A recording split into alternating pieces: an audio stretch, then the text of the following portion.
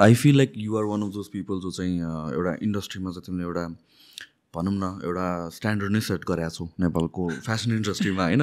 अनि तिम्रो अराउन्डको पिपलहरूबाट मैले धेरै सुनेको छु तिम्रो बारेमा I kind of like have अलिकता आइडिया तर आई थिङ्क यो स्टोरी तिम्रो चाहिँ धेरैजना मान्छेले सुन्नु पायो भने चाहिँ राम्रो हुन्छ जस्तो लाग्छ।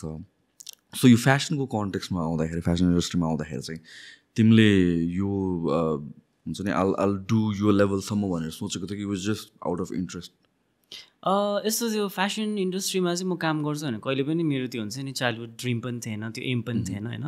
म जन्मेर हुर्केको इलाममा हो इट्स अ स्मल टाउन है। अनि त्यतिखेर आई डोन्ट थिङ्क फेसनको बारेमा त्यस्तो अवेर थिएन जस्तो लाग्छ मलाई होइन त्यो टाइममा अनि म काठमाडौँ आउँदाखेरि चाहिँ म होटल म्यानेजमेन्ट पढ्न आएको। ओके। अनि यो फेसन इन्डस्ट्रीको बारेमा म त्यस्तो धेरै केही नलेजै थिएन जस्ट अलिअलि चाहिँ थियो होइन। तर म यही पढ्छु अनि पछि गएर फेसन डिजाइनर बन्छु भन्ने चाहिँ कहिले पनि मेरो सपना थिएन। सो होटल म्यानेजमेन्ट चाहिँ किन त्यतिखेर? आई डोन्ट नो मलाई एकदमै पहिलेदेखि नै यो सर्भिस इन्डस्ट्रीमा काम गर्नु मन लाग्ने। अनि स्टिल अझै पनि एउटा ड्रिम छ एउटा सानो क्याफे अथवा रेस्टुरेन्ट भए पनि पछि गएर चाहिँ फ्युचरमा गर्छु भन्ने चाहिँ अलि स्टिल छ त्यो पनि सपना चाहिँ अझै छ होइन। तर मेरो ड्रिम भनेको चाहिँ त्यो थियो। अनि यो फेसन इन्डस्ट्रीमा चाहिँ म लक भनौँ कि एक्सिडेन्ट भनौँ कि के भन्ने होइन। सो आई थिङ्क डेस्टिनीमा एकदम डेस्टिनीमा बिलिभ गर्छु होइन। सो त्यो डेस्टिनीले मलाई यहाँसम्म ट्र्याक गर्यो जस्तो लाग्छ कि। सो हाउ डिड द्याट मेरो साथीहरू थियो अलरेडी उनीहरू फेसन डिजाइनिङ पढिरहेको थियो। अनि म एउटा फेसन सो हेर्न गएँ। अनि त्यो फेसन सो चाहिँ हाम्रो कलेज जुन नम्ना कलेज छ म नम्ना कलेजको स्टुडेन्ट हो होइन। अनि ग्रेजुएटिङ ब्याचले उनीहरूको फाइनल इयरमा एउटा फेसन सो अर्गनाइज गर्नुपर्ने हुन्छ। सो मेरो साथीहरूको चाहिँ त्यो पालो थियो। उनीहरूले फेसन सो गर्नुपर्ने। अनि त्यो सो हेर्न गएँ। सो अल अफ सडन त्यो रनवेमा त्यो डिजाइन्सहरू देखिसकेपछि चाहिँ अनि मैले गर्नुपर्ने चाहिँ यो हो कि जस्तो भन्ने फिलिङ्स आयो क्या। सो अलिकति गाह्रो थियो। अनि घरमा कसैले पनि मान्नु भएन। सो अलिकति स्ट्रगल भयो त्यहाँ। अनि बिस्तारै अब पेरेन्ट्सहरूलाई बुझाइसकेपछि चाहिँ इट वाज माई सिस्टर मेरो दिदी हुनुहुन्थ्यो। उहाँले चाहिँ मलाई एकदम हेल्प गर्नु भएर मैले यता नम्ना कलेजमा एडमिसन लिएँ।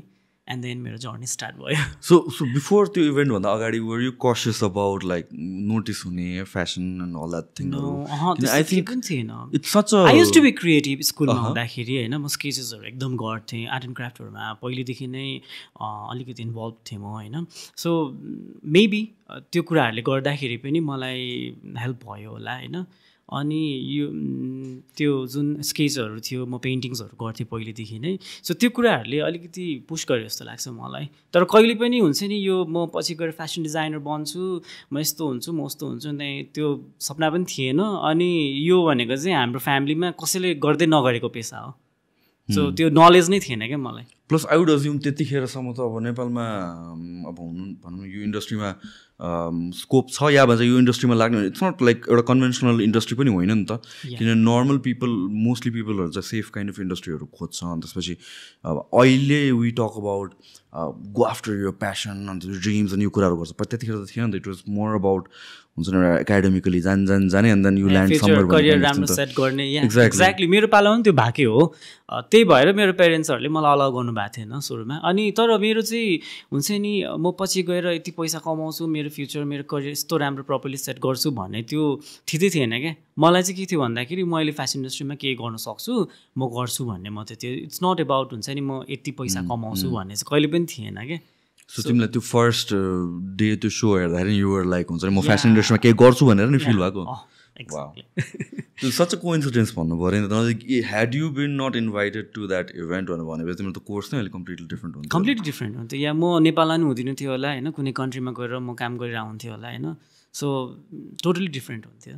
त्यो सिनारियो नै डिफ्रेन्ट हुन्थ्यो। सो यो जुन um, एकैचोटि इन्डस्ट्री चेन्ज गर्ने या हुन्छ कोर्स एउटा भनौँ न करियरको पाथ चेन्ज गर्ने भनेर भन्दाखेरि त त्यो पनि it's not like gradually build up भएको होइन कि एकैचोटि अलमोस्ट भनौँ न तिम्रो केसमा ओभरनाइट जस्तै भयो। माइन्ड चेन्ज गर्छु भनेर भन्दाखेरि चाहिँ। सो अफकोर्स तिम्रो पेरेन्ट्सले अलिकता हेजिटेन्ट हुने त द्याट्स भेरी अन्डरस्ट्यान्डेबल किनभने एउटा हुन्छ नि त युथहरू कहिले के गर्ने कहिले के गर्ने भनेर भन्छ। नट होइन सबै पेरेन्ट्सले आफ्नो बच्चाहरूको फ्युचर अलिक सेक्योर होस् नै भन्ने true I I think again this is such a important conversation जस्तो लाग्छ कि वेयर अब अहिले मलाई यो गर्नु दिएन त्यो गर्नु दिएन काइन्ड अफ एउटा कन्भर्सेसन काइन्ड अफ पनि आउँछ कतिजनाको केसमा। But then parents just that त्यो भनेको त पेरेन्ट्स बिङ पेरेन्ट्स हो नि त। होइन एउटा पोजिटिभ पर्सपेक्टिभबाट नै सोचे हुन्छ कि सेफ कसरी हुन्छ पछि दुःख नपाओस् भन्ने त हो नि त। त्यो बाहेक त अरू कोही पनि पेरेन्ट हुन्छ नि भिलेन बन्छु भनेर त कसैले सोध्नु बट आई थिङ्क कहाँ कहाँ त्यो नेगेटिभ कतिजनाले युज गर्छ जस्तो लाग्छ।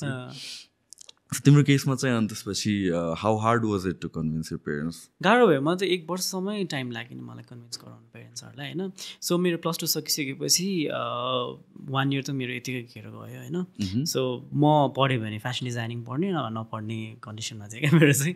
सो गाह्रो भयो। सो त्यसको लागि अनि मैले आफै पनि अलिकति इन्कम जेनेरेट गर्नुपर्ने कन्डिसन पनि थियो। सो त्यो टाइममा चाहिँ मेरो फ्यामिलीको इकोनोमिक कन्डिसन पनि अलिकति गाह्रो गाह्रै थियो। सो त्यसले गर्दाखेरि मैले कामहरू पनि गरेँ। अनि प्लस मलाई मेरो दिदीले पनि हेल्प गर्नुभयो। सो फाइनली एडमिसन भयो कलेजमा यो जुन तिमीले एकैचोटि कोर्स चेन्ज गर्ने भनेर भन्यो नि त। सो यो do you think any certain event yeah certain थिङले गरेर तिमीले कन्भिन्स गर्न सक्यो पेरेन्ट्सलाई अल अफ अ सडन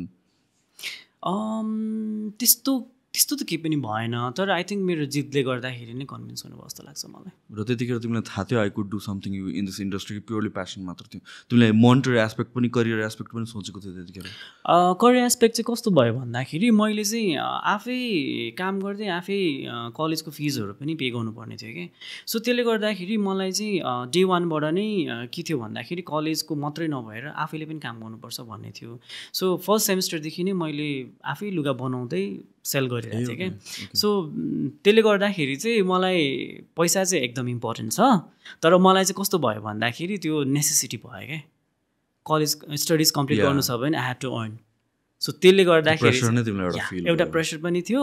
अनि अब सधैँभरि मैले अब पेरेन्ट्सको मात्रै लिएर पनि त भएको थिएन है। त्यसले गर्दाखेरि चाहिँ दिदीले मेरो एडमिसन गर्नुभयो प्लस मेरो सेभिङ्सहरू सबै मिलाएर होइन। अनि मैले चाहिँ जे होस् मेरो ब्याचलर्सको चाहिँ मैले मेरो पेरेन्ट्सबाट चाहिँ मैले पैसा लिनु परेन।